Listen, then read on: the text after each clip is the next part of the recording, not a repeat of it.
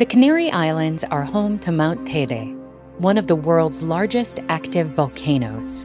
Capable of spewing tens of millions of cubic meters of lava in a single eruption, Teide's destructive power is nothing to scoff at. But there may be a way to use the basalt rock inside Teide to save humanity. That's right, blowing up this volcano could offset Earth's emissions for the foreseeable future. Obviously, destroying an ancient volcano is not a good idea. The ecological fallout would be catastrophic and unpredictable. But even if we harvested some of that basalt, could we really use it to stop climate change? This theoretical scheme is a dramatic way to enhance one of Earth's least dramatic natural processes rock weathering. Rock weathering occurs whenever it rains.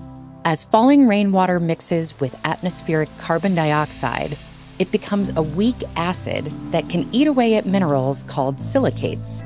And since silicates are in over 90% of Earth's exposed rock, this happens pretty much anywhere rain hits stone.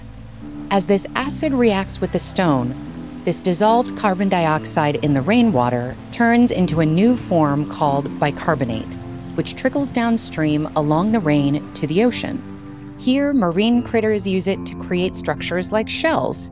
And when they die, those shells sink to the seafloor, trapping that carbon dioxide in the ocean for millennia. This process has a massive impact on Earth's climate. When it's warm and wet, the rock weathering speeds up, tempering greenhouse warming. When it's cold and dry, the process slows down, building up atmospheric carbon dioxide. But these effects take time. Natural rock weathering balances Earth's climate over millions of years. Thankfully, experts working to sequester atmospheric carbon have plans to speed things up. Two major factors determine the pace of this process the types of rock exposed to weather and the amount of rock that's exposed. Silicates that form at higher temperatures tend to weather faster due to their chemical composition. These rocks include those from Earth's deep mantle and volcanic rocks like basalt.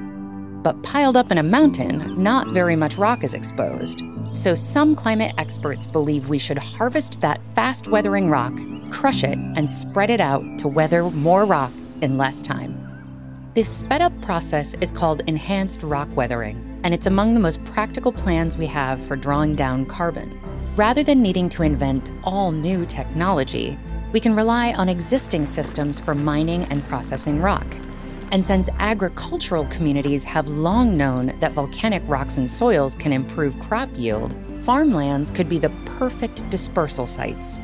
But for this approach to have impact, it needs to be deployed globally and even without demolishing any volcanoes, large scale solutions always come with large scale problems. First off, rock weathering, enhanced or otherwise, runs through the entire global water cycle.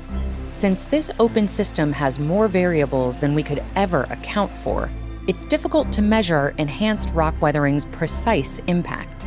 Second, despite existing mining technology, it would be a massive ecological and engineering challenge to quarry, crush, transport, and spread this much rock.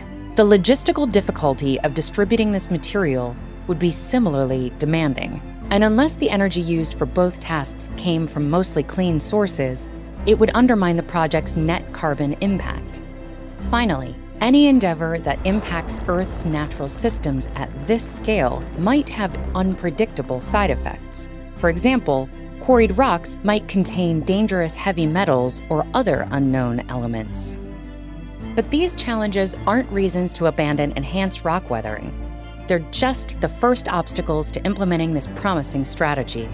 Simulations suggest a global enhanced rock weathering program that spreads 10 tons of basalt dust on every hectare of global farmland could sequester over 200 gigatons of CO2 over a 75 year period.